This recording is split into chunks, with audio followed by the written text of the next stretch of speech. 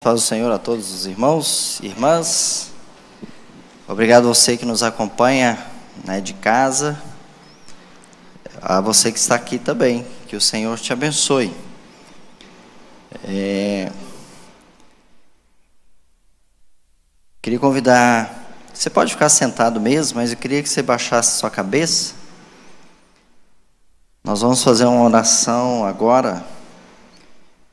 É... Vamos orar em favor do nosso Brasil, vamos orar em favor da nossa nação,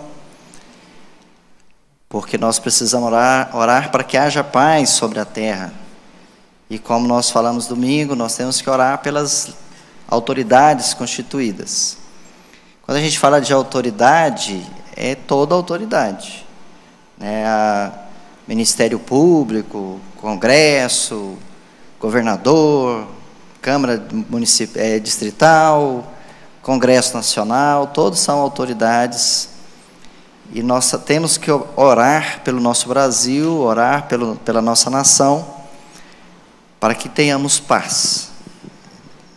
Então feche teus olhos, vamos estar intercedendo neste momento pela nação. Senhor Deus, em nome de Jesus, na autoridade que há no nome de Jesus, como igreja do Senhor, nós queremos levantar o nosso clamor, nós queremos levantar a nossa oração pelo Brasil. Orar, Senhor, por essa nação, que se nós andarmos pelos hospitais públicos, nós vamos vê-los lotados, cheios de pessoas doentes, enfermas. Se andarmos, ó Pai, pelos cemitérios, vamos ver muitas, muitos velórios, muitas pessoas velando os seus mortos. Se andarmos pelas ruas, vamos nos deparar, Senhor, com muitas pessoas morando nas ruas, muitas pessoas, ó Pai, vivendo na extrema miséria, na extrema pobreza. Nós olhamos, ó Pai, oramos por uma nação que há milhares de desempregados, milhares de pessoas, ó Deus, necessitando trabalhar, necessitando do pão, necessitando, Senhor, do sustento para sua casa, para sua família. Nós estamos aqui como igreja, Senhor, para estabelecer o reino de Deus. Estamos aqui, Senhor, como a voz do Senhor nesta terra, para proclamar o reino de Deus, para proclamar o evangelho do nosso Senhor Jesus.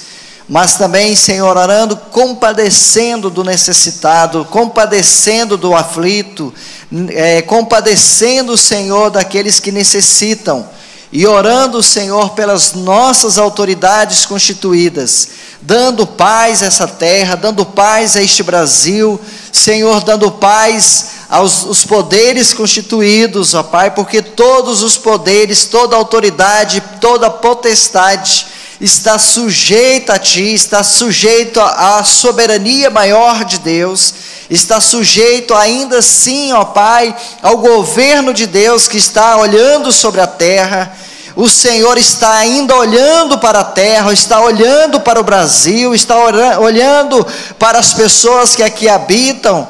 Senhor, o Senhor está de olho nessa nação. E nós, como igreja, Senhor, nós queremos levantar as nossas vozes em adoração e dizendo que o Senhor é santo, e dizendo que o Senhor é Deus, que o Senhor é exaltado nesta terra, que o Senhor é exaltado neste país, que o seu nome seja glorificado, e existe sim, Senhor, nessa nação, os servos do Senhor, aqueles que colocam seus joelhos no chão, que intercedem, que oram pela paz dessa terra, que oram, Senhor, para que haja paz neste lugar, para que haja paz, Senhor, em nome de Jesus. Nós oramos pela nossa nação, oramos pelos poderes constituídos governador, presidente, Câmara Municipal, Distrital, Câmara dos Deputados, Senado, Ministério Público, Senhor, Supremo Tribunal Federal, Senhor, que a Sua mão esteja na nação, que a Sua mão esteja sobre este país, em nome de Jesus nós oramos, ó Pai, em nome de Jesus, louvado seja Teu santo nome, em nome de Jesus. Glória a Deus. Sérgio, você anima ficar aqui solando para a gente?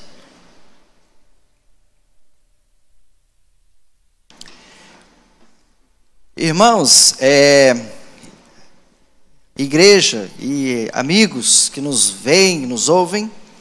Hoje eu queria falar um pouquinho sobre um tema que eu diria assim, é, hoje é chamado ah, o mal da humanidade. Hoje nós queremos falar um pouquinho sobre a ansiedade. Eu sempre, quando vou preparar meu, ser, meu sermão, eu sempre gosto de falar aquilo que Deus falou no meu coração, Deus tocou no meu coração. E parece que era vontade mesmo do Espírito e de Deus que a gente falasse sobre esse tema, porque os louvores hoje, né, Sérgio, foi quase focado. Tenha calma, confie no Senhor, né, descanse nele. Então, é, não foi planejado. Eu não liguei para o Sérgio, não liguei para o louvor, falar quais são as músicas que vocês vão cantar hoje. Mas o Senhor tinha tocado meu coração para falar sobre esse tema. Eu sei que você já deve ter ouvido muitas mensagens sobre o tema, mas eu queria também falar um pouquinho sobre isso. Eu espero que o Espírito Santo de Deus esteja falando ao seu coração. Como texto, se você puder, abra sua Bíblia comigo em Filipenses, capítulo 4, nos versículos 4 a 7. Filipenses, capítulo 4, dos versículos 4 a 7. Alvin vai conseguir jogar textos hoje aqui? Beleza, então nós vamos ter, vamos estar lendo algumas referências. Filipenses capítulo 4, dos versículos 4 ao 7. A palavra do Senhor diz assim: Alegrai-vos sempre no Senhor. E novamente vos afirmo: alegrai-vos. Seja a vossa amabilidade conhecida por todas as pessoas breve voltará o Senhor. Aí o versículo 6 diz assim: Não andeis ansiosos por motivo algum, pelo contrário, sejam conhecidas todas as vossas solicitações, sejam todas as vossas solicitações declaradas na presença de Deus, por meio de oração e súplicas com ação de graça e a paz de Deus, que ultrapassa todo entendimento, guardará o vosso coração e os vossos pensamentos em Cristo Jesus. Esse texto fala para que a gente, primeiro, a gente se alegre. Está falando, olha, você deve se alegrar. E é difícil falar em estar alegre quando você está ansioso. É difícil a pessoa ter paz, ter alegria em um momento de ansiedade. Porque a ansiedade é o estágio emocional que qualquer pessoa pode se encontrar em que as coisas começam a não funcionar direito pelo menos internamente falando. Quem já trabalhou em obra, ou quem já viu, vocês já viram do prumo? O prumo, ele é um, um instrumento que o, o pedreiro usa, que ele mede ali a parede e coloca um peso para ver se a parede está sendo levantada de uma forma igual. Então aquele prumo ele coloca ali, tem uma corda, né, que uma cordinha que ele vai vendo se a parede está sendo levantada de acordo, se ela está seguindo o, o parâmetro que devia. Nós entramos, quando nós entramos em ansiedade, o nosso organismo não começa a funcionar muito bem mais. Porque ah, cientificamente falando, vai haver uma descarga elétrica, vai haver descargas dentro do seu organismo que vai começar a fazer com que você não se sinta bem, que você sinta mal. Em alguns casos mais extremos, As pessoas ansiosas, elas começam até a ter reações parecendo que elas estão doentes de fato. É comum você falar, ver pessoas que elas dizem: Olha, estou com uma palpitação, meu coração está batendo mais forte, batendo acelerado. Às vezes começa a dar tremedeiras. Pessoas perdem o apetite, pessoas perdem o sono, pessoas começam a ter vários tipos de manifestação porque o seu organismo está trabalhando, conspirando contra você. A ansiedade tem a capacidade de fazer o seu corpo, que devia estar no prumo, ele começa a desregular as coisas e começa a fazer com que o seu organismo, o seu corpo comece a trabalhar, que era para trabalhar ao seu favor, ele começa a trabalhar contra você. E uma coisa que a gente, irmãos, a gente tem que entender, nós somos feitos de alma, de, de espírito e carne. E por mais que você seja espiritual, você também é um ser carnal. Existe essa carne. E essa carne é frágil. E essa carne sente. E essa carne realmente se abala. Uma coisa, irmãos, que nós precisamos entender pessoas ansiosas e às vezes caem num lago chamado depressão. E há algum tempo atrás, principalmente no nosso meio, principalmente no nosso meio, quando falava que alguém caía em ansiedade, em crises de ansiedade ou crises de depressão, era demônio. A pessoa estava ficando louca. Muitas pessoas com muita resistência sobre questão de medicação, porque achava que a ansiedade, achava que a pessoa que estava nesse quadro ansioso, que às vezes virava um quadro de ansiedade depressivo, era coisa do, do demônio, era coisa do diabo. Existem as, as opressões demoníacas? Existe sim. Existem pessoas que são oprimidas? Sim, existem. Mas também existem os fatos da vida que por si só já conseguem abalar muita gente. E hoje é difícil, difícil a gente achar que existe no nosso meio alguém que consiga viver, que consiga lidar muito bem com a ansiedade sem que isso afete a sua vida de alguma forma. É difícil a gente entender, é difícil alguém hoje dizer: olha, eu sou uma pessoa que lido com a ansiedade e venço a ansiedade tranquilamente. Eu sei como ela me ataca e eu sei como eu me defendo dela. Poucas pessoas, poucas pessoas. Por quê? Porque existem eu, eu separei quatro, pelo menos quatro situações que podem nos levar a esse quadro de ansiedade. Talvez você esteja em uma delas, e talvez você esteja nas quatro, não sei, e talvez até esteja em outras que eu não vou men mencionar aqui. Mas qual que é a primeira causa de ansiedade que quase todo mundo tem? Quase todos os brasileiros têm. É o problema do sustento. O que que causa ansiedade num pai de família? É a preocupação de trazer o alimento para dentro da sua casa. A gente sabe que no Distrito Federal é um lugar que tem muito funcionário público. Por que, que existe uma, uma corrida assim doida para um concurso público?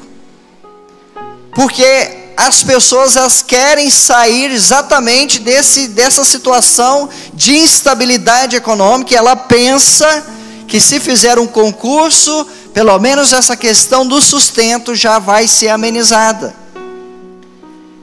Porque quem é o, o pequeno empresário, quem tem o seu negócio, quem trabalha em empresas privadas, quem trabalha vendendo, quem trabalha produzindo alguma coisa, ele vive com essas incertezas quanto ao seu sustento, quanto ao seu alimento, quase que diariamente. Então, a questão do sustento, ela levanta ansiedade, sim, na maioria de nós. Quem, quem nunca chegou a se preocupar? E às vezes você já venceu, já venceu essa parte, mas agora você fica com ansiedade em relação aos seus filhos. De repente você já venceu, você já passou, você já está numa idade que você já venceu, já tem a sua casa, já tem lá né, o, o seu carro, já está. Não, está estabilizado, legal. Agora você fica ansioso por causa do seu filho. Você já venceu, agora você fica ansioso por ele, pensando: e o que, que vai ser desse rapaz? E o que, que vai ser dessa moça? E você fica ansioso por ele, você fica tomando as dores dele, pensando o que, que vai ser desse menino, o que, que vai ser daquela menina. O sustento causa ansiedade. O que que nós vamos vestir, o que que nós vamos comer? Quem que não anseia de andar por um caminho da certeza, das evidências concretas? dos fatos concretos. Todo mundo quer, assim, queria estar numa, numa, numa situação que fala: eu sei quanto que eu vou ganhar, eu vou ganhar X, e eu, eu vou conseguir administrar isso de forma que no final ainda vai me sobrar alguma coisa. Mas nós brasileiros somos péssimos nos nossos hábitos. A gente ganha mil e a gente luta ali e tal e se encaixa dentro dos mil, mas aí começa a ganhar 500 reais a mais. Daqui a pouco a gente começa a gastar os, os 1.500. A gente pensa, não, com, com 3 mil eu vivo bem. Aí você ganha 3 mil, daqui a pouco 3 mil não é suficiente. Aí você quer ganhar 5. Aí você ganha 5, você começa a viver preocupado porque os 5 já não dá mais você quer ganhar 10. Então sempre vai ser crise, sempre vai ser ansiedade, porque se a gente não souber administrar, não souber trabalhar nessa questão, nada nos satisfaz. A Bíblia fala da sanguessuga que tem duas filhas, dá e dá. Fala de, de eventos da vida que não se fartam. Parece que Difícil é ganhar o dinheiro, mas gastar é fácil. Quanto mais hoje com N possibilidades de compras online, compras com Pix, compra com cartão, que divide, que faz e não sei o quê. Quando você vê o orçamento está todo estourado e você está lá preocupado de novo com o sustento. Uma outra questão que faz muita gente viver de ansiedade. É a falta de aliança, falta de vínculos. O que, que é isso? O que, que é falta de aliança? O que, que é falta de vínculo? Falta de aliança é quando você só se junta com alguém, você não casa com aquela pessoa. Você só junta os trapos e vai viver com ela. Você está vivendo, mas você não tem aliança, você não tem vínculo. Aí quando você está vivendo um relacionamento assim, o que, que vai gerar em você? ansiedade. Porque você vai entrar numa balança de achar que aquela pessoa pode te deixar qualquer dia, a qualquer hora. Aquela, aquele relacionamento sem vínculo causa ansiedade. Por que, que uma, uma, uma, criança adotada, um jovem, um adolescente, que ele é adotado, ele sabe que ele é adotado, por que, que ele fica com medo da, do, do, do, do que vai acontecer, dos vínculos? Porque se ele não sentir a segurança e a certeza do amor, que ele é amado, que ele é bem-quisto, sempre vai ficar aquela dúvida pairando: quem, meu pai, minha mãe, não são meu pai, não são minha mãe. Porque quando a gente fala de vínculo, fala de registro, de você colocar isso no papel. mas acima de tudo, é óbvio que tem que colocar no coração, mas tem que colocar no papel também. Relacionamentos sem aliança, sem, sem firmar em aliança, são relacionamentos vazios e correndo riscos de, de se perder. Por que, que o trabalhador que trabalha sem carteira assinada, por que, que ele está sempre ansioso? Porque sem a carteira assinada, sem ele estar tá com um vínculo empregatício, muitos pensam assim: essa empresa pode me deixar a qualquer momento, eu posso perder o trabalho a qualquer momento. Porque pelo menos na mente ele pensa, eu tendo um vínculo, isso me dá algumas garantias. Eu tendo um vínculo, se acontecer de eu sair, às vezes eu recebo uma reservazinha, um FGTS, um seguro-desemprego, alguma coisa. Agora aquele que trabalha na informalidade, ele vive inseguro. E isso causa ansiedade. Isso causa ansiedade. A terceira coisa que causa muita ansiedade, muita, talvez, se não há nas, das principais, é uma delas. É fala sobre o excesso de futuro. Quantas pessoas, voltando ao exemplo do prumo, né? Quantas pessoas perdem o prumo quando são projetadas para o futuro? Quando fala de futuro, é como se desencadeasse uma série de eventos na mente dela e no, no, organismo dela e no pensamento dela. Esse excesso de futuro acaba consumindo totalmente ela agora, neste momento, no presente. As coisas estão para acontecer daqui a seis meses, daqui a um ano, daqui a, a cinco anos. E as pessoas já começam a viver como se estivessem acontecendo agora, hoje. O filho vai casar daqui a dois anos, mas já começa a preocupar agora. Ai, meu filho vai embora, vou ficar sem meu filho. E como o irmão João falou aqui, Aí quando você olha para a nação, quando você olha para as instabilidades econômicas, quando você olha para as instabilidades políticas, quando você olha para o cenário, quando você olha para a Covid, quando você olha para isso, quando você olha para aquilo, todo um cenário só vai querer levar você a viver futuro a projetar futuro, a querer que você olhe lá na frente, para você estar olhando para eventos e fatos de coisas que ainda não estão acontecendo, não aconteceram, mas você já começa a sofrer, você já começa a sentir mal, você já começa a projetar o futuro como se o futuro fosse hoje. Pastor quase nem ouve isso, né, pastor? de pessoas projetando, preocupadas com o futuro. Nós mesmos já falamos muita coisa para o pastor, pastor com a calma, né, típica do nosso pastor. Ele fala: o futuro não existe, né? O futuro não existe. Você acha que existe, mas o futuro não existe. O futuro existe na soberania de Deus. Mas para nós o futuro não existe.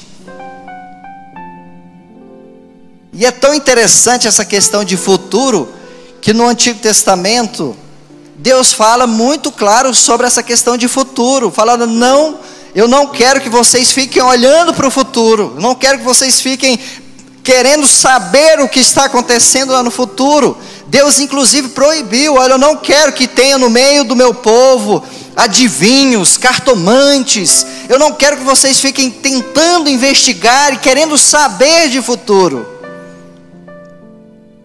Jogando isso para a nossa realidade de hoje.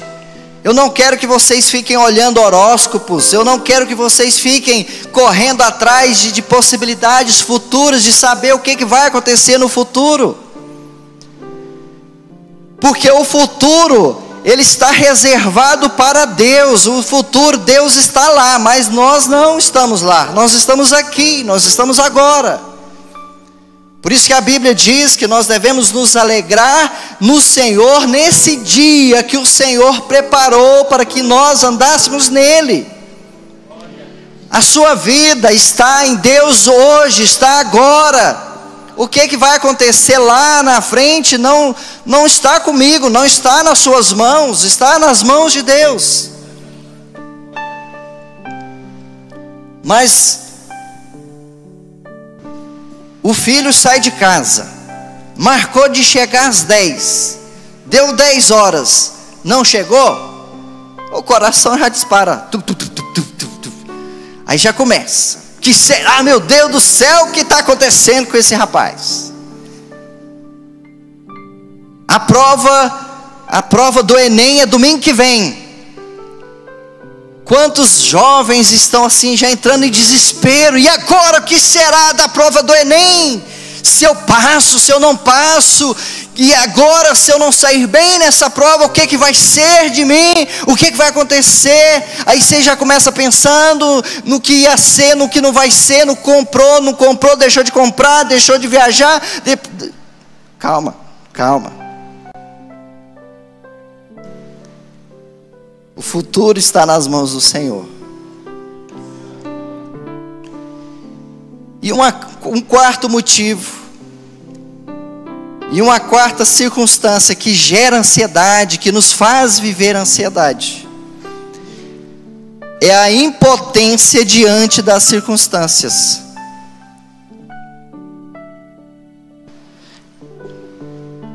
Como nós ficamos terrivelmente abalados diante de situações que a gente pensa, e agora, o que, que eu vou fazer?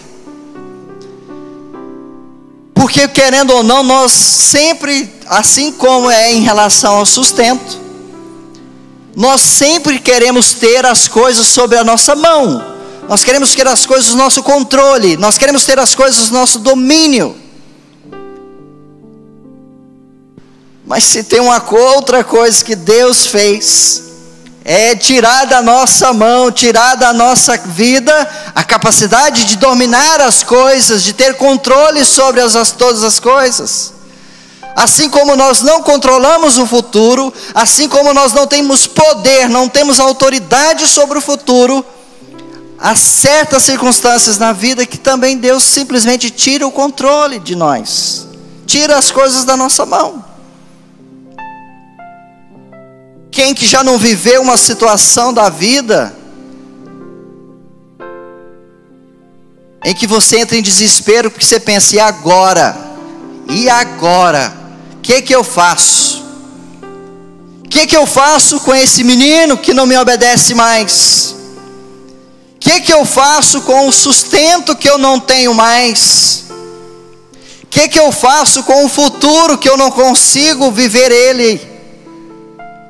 Que, que eu faço?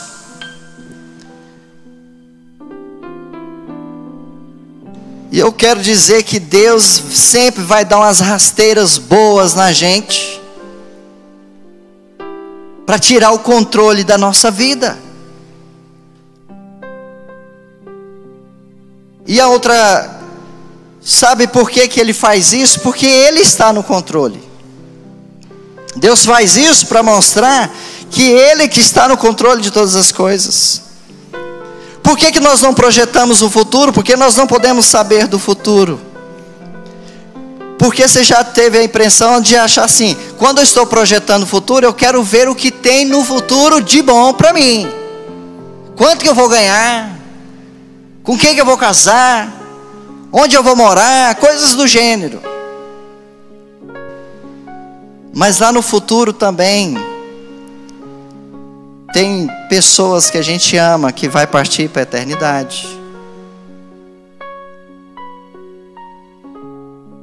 Tem acidentes, às vezes fatais, às vezes acidentes que podem paralisar a sua vida, podem mudar o curso da sua vida. Lá na frente pode ter pessoas que você vai aprender a amar, mas lá na frente também tem pessoas que vai te decepcionar tremendamente, que vai deixar você extremamente aborrecido, chateado. Isso é vida. E isso tudo causa ansiedade. Mas Quando Paulo escreve esse texto, está dizendo: alegrai-vos no Senhor. E ele diz novamente: alegrai-vos. Que quando foi escrito essa palavra, quando a Bíblia fala sobre o tema, quando, Deus, quando a Bíblia cita essa questão desse tema, ele não foi escrito para dizer assim: olha, vai acontecer a ansiedade e ela vai engolir vocês.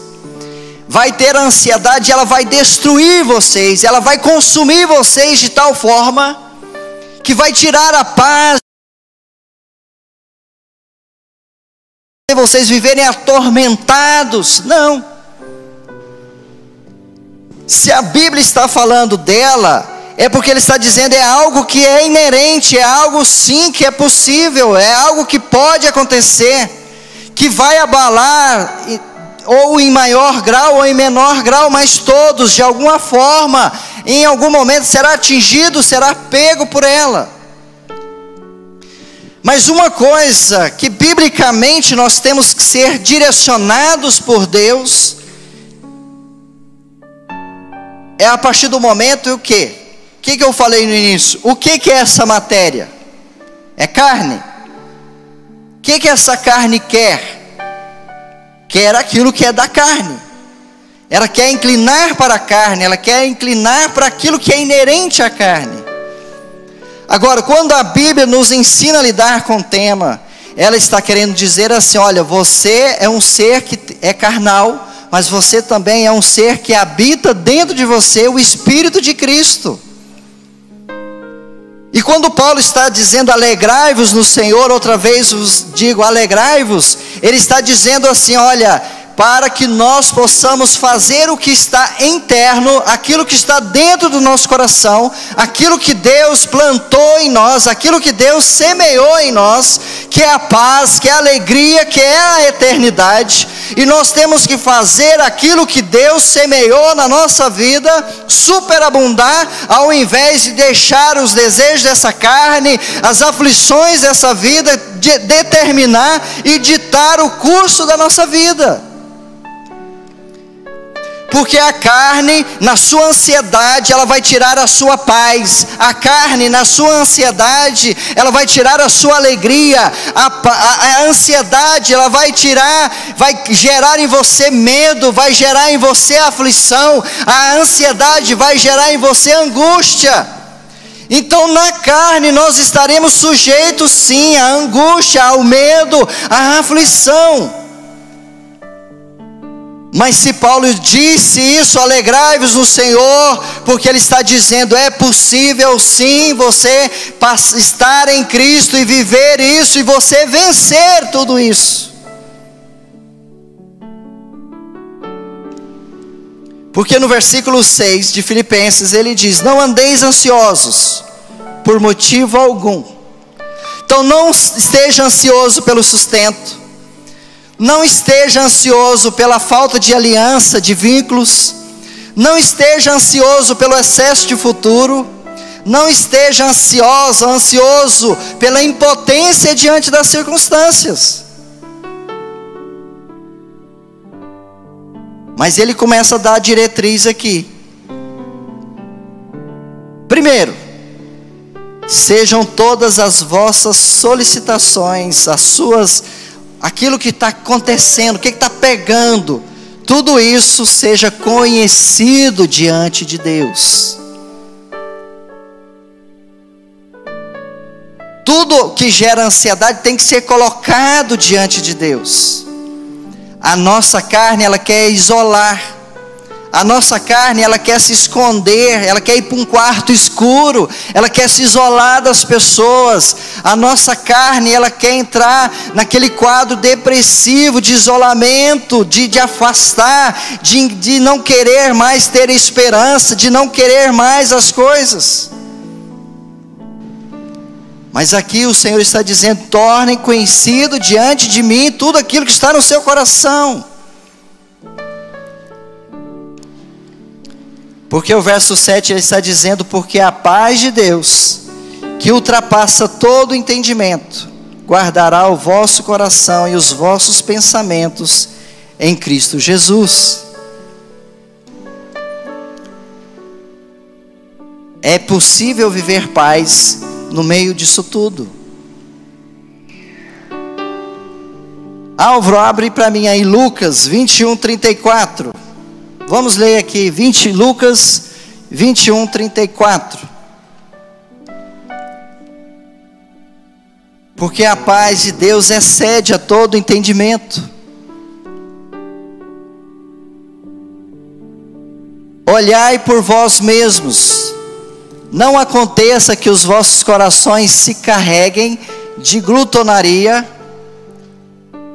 Esse glutonaria aqui é sinal de ansiedade.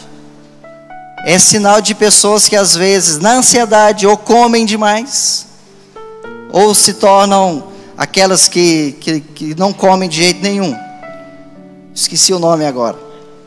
Isso, é disléxica, né? Isso. Anorexia, exatamente, perdão. Então tenham cuidado para que os seus corações não fiquem carregados de libertinagem, bebedeira e ansiedade da vida.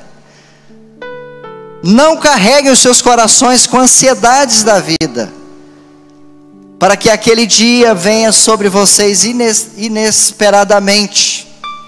Então não, não criem, não desenvolvam, não deixem a ansiedade tomar conta de você. Romanos 8:35 Alvin. Romanos 8:35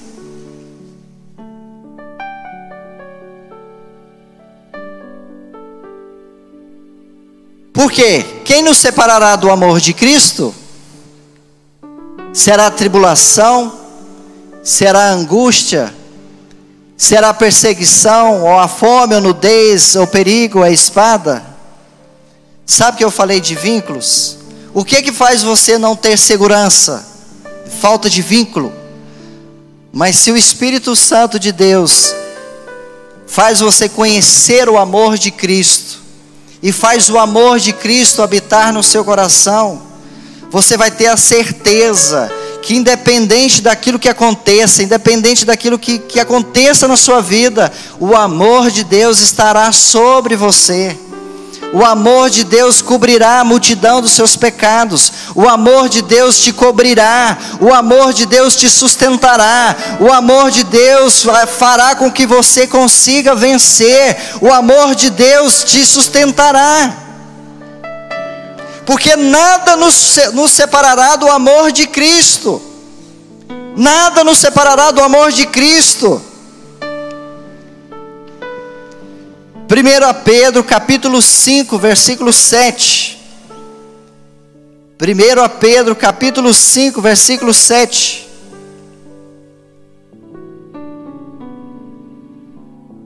Lancem sobre ele toda a sua ansiedade, porque Ele tem cuidado de vós.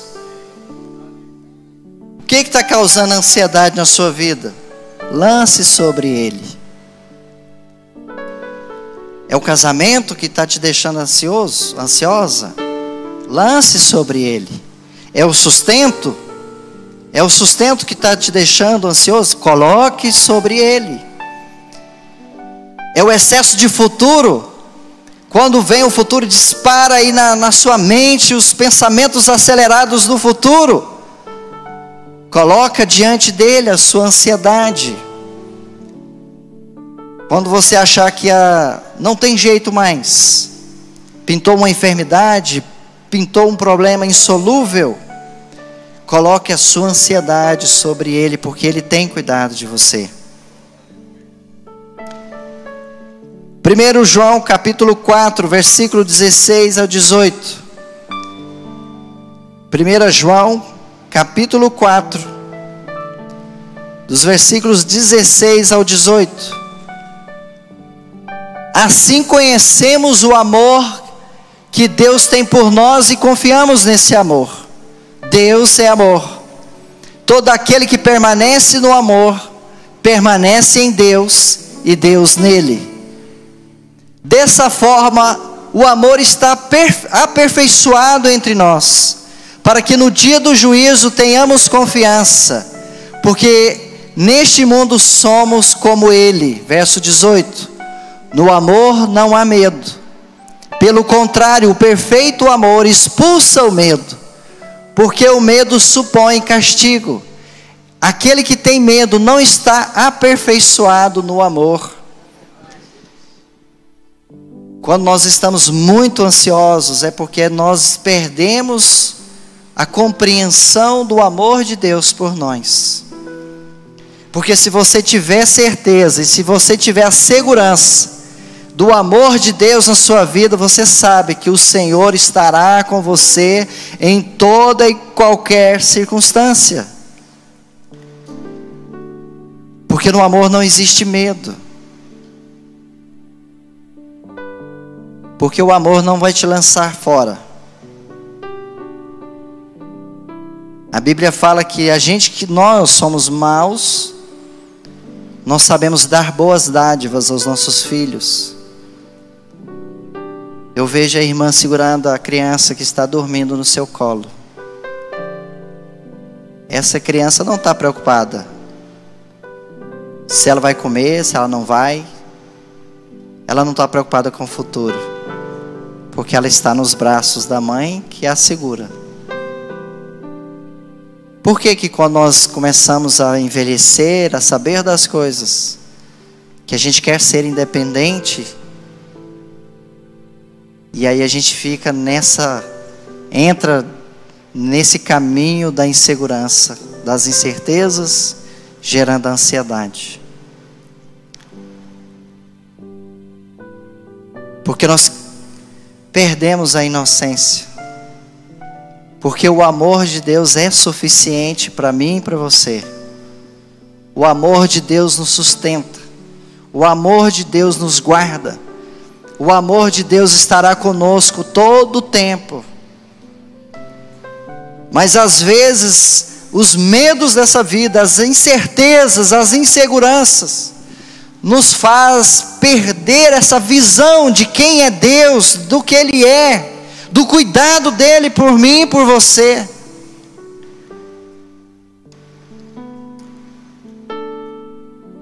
E a ansiedade, o excesso de futuro e as preocupações dessa vida nos perdem a alegria de viver hoje.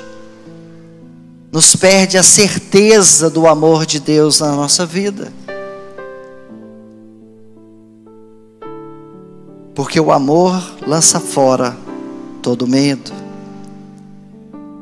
Se você está vivendo uma vida de medo, de preocupações, de repente é que você por um momento deixou que a sua carne falasse mais alto. Você deixou que as circunstâncias que os seus olhos estão vendo falasse mais alto na sua vida. Por isso que eu estou aqui essa noite para ativar aquilo que está em você aquilo que está, habita, está habitando dentro de você, aquilo que está que habita no seu coração, que é o Espírito de Cristo. Porque o Senhor disse: Olha, eu não vos deixarei órfãos, eu não vou deixar vocês sós, eu estarei com vocês até a consumação do século. Então você pode acordar todos os dias de manhã e olhar para o céu e dizer: Senhor, obrigado por mais um dia, obrigado porque eu sei que o Senhor vai cuidar de mim nesse dia, obrigado, Senhor, porque o Senhor vai me sustentar nesse dia. Obrigado, Senhor, porque as circunstâncias da vida, as circunstâncias do momento não determinam quem eu sou, porque eu sou amada de Deus, eu sou querida de Deus. Você pode sim para os braços dele descansar nele, porque ele ama você. Você é amada por Deus, você é querida por Deus, você é desejado por Deus.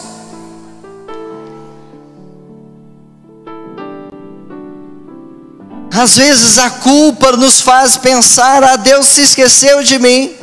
Às vezes as circunstâncias daquele momento que nós estamos vivendo, a gente pensa: Deus não está aqui. Deus se esqueceu de mim.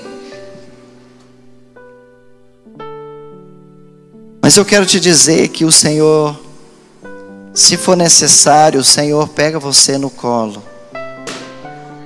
e diz: Vem, filha minha. O seu trabalho é descansar em mim.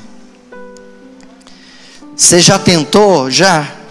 Já, me, já se esforçou? Já demais? Você já fez alguma coisa? Já? Você já estudou para a prova? Já? Você já batalhou pelo seu casamento? Já? Você já batalhou pelos seus filhos? Já? Já batalhei demais. Você não sabe o que, que eu já fiz. Você já não sabe o que, que eu fiz pelo meu marido. Você não sabe o que, que eu fiz pelo meu filho. Você não sabe o que, que eu fiz. Você já fez? Já. Talvez seja o momento de dizer, de Deus dizer para você: agora é comigo. Agora é comigo. O seu trabalho é descansar em mim. Porque a paz de Deus, que excede todo entendimento, guardará o vosso coração, guardará a sua vida.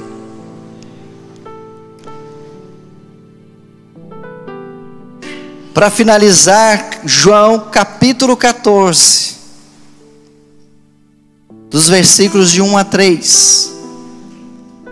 João 14, de 1 a 3.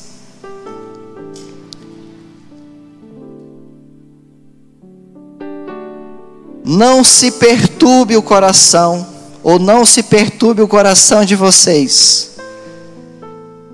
Não fiquem preocupados. Creiam em Deus. Creiam também em mim, Jesus está dizendo. Na casa de meu pai há muitos aposentos. Se não fosse assim, eu lhes teria dito: Vou preparar-vos lugar. E se eu for e lhes preparar lugar, voltarei e os levarei para mim, para que vocês estejam onde eu estiver. O Senhor já está com você, porque Ele envia o Espírito Santo para estar contigo.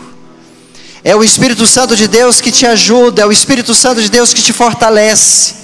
Então, enquanto você estiver aqui nessa terra, sempre que as aflições dessa vida, os anseios dessa vida, quererem nortear a sua vida, quererem fazer você sair do prumo, querer fazer você pecar, querer fazer você falhar, querer fazer você perder a sua fé, de achar que não tem jeito mais, que não dá mais. Você diz: Eu creio nas Escrituras, e o Senhor diz que eu poderia descansar nele, o Senhor diz que eu poderia confiar nele, então eu confio no Senhor, a minha vida está nas mãos do Senhor. A vida da minha família está no Senhor. Os meus rendimentos, o meu sustento está nas mãos do Senhor. E o melhor de tudo, esse é o único futuro que o Senhor quer que você saiba. Que Ele foi preparar lugar e Ele voltará. Para onde, onde Ele estiver, nós, eu e você que estamos lutando nessa vida, estamos aí correndo atrás, batalhando, se esforçando, e Ele está dizendo: olha, fique na minha esperança, fiquem na minha fé, fiquem no meu sossego, fiquem no meu descanso, porque esse, esse momento que vocês estão vivendo, essas tribulações que estão vivendo, elas são momentâneas, porque ela vai cessar um dia, porque um dia vocês estarão comigo eternamente. E nesse dia vai vai ser o dia que vai valer a pena. Porque nós estaremos eternamente com o Senhor. A equipe de louvor já pode ir subindo para cá. Quero que você se coloque de pé agora.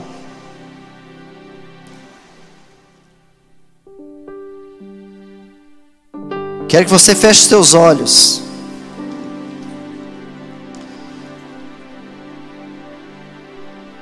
Que você comece a falar com Deus neste momento. Se você tivesse uma criança bem novinha, e essa criança chegasse para você e falasse assim: Mãe, eu não acredito em você mais.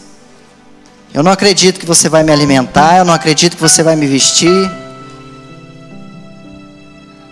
Você poderia às vezes até ficar com raiva dos, dos seus filhos como é que você diz um negócio desses? Por que, que você está falando isso? Você sabe que eu vou te sustentar, você sabe que eu, você vai estar nos meus braços sempre. É a mesma coisa hoje. Se nós somos adultos e estamos dizendo para Deus, estamos pensando que Deus não vai fazer, que Deus não vai cuidar, nós estamos até afrontando a Deus e dizendo: Senhor, eu não acredito em você. Por isso, acalma seu coração, porque o Senhor tem cuidado de você. O Senhor não vai deixar faltar na sua mesa. Em nome de Jesus, o Senhor não vai deixar faltar na sua mesa. O Senhor te cobrirá com as suas mãos. O Senhor cobrirá a sua vida, sua casa, sua família. Comece a profetizar agora, comece a declarar isso. Ainda que talvez a sua carne não esteja sentindo isso. Mas você vai dizer para a sua carne que quem domina a sua vida é o Espírito de Deus. Não é a carne que determina quem você é, o que você crê, o que você diz. E você vai dizer para a sua carne: Eu acredito na palavra. E a palavra diz que eu estou seguro nos braços de Jesus. A palavra diz que eu estou seguro nos braços do meu Pai. A palavra diz que o Senhor estará comigo todos os dias. Eu não consigo, mas no Senhor eu consigo. Eu não posso, mas com o Senhor eu posso. Eu não venço sozinho, mas com Cristo eu venço sim.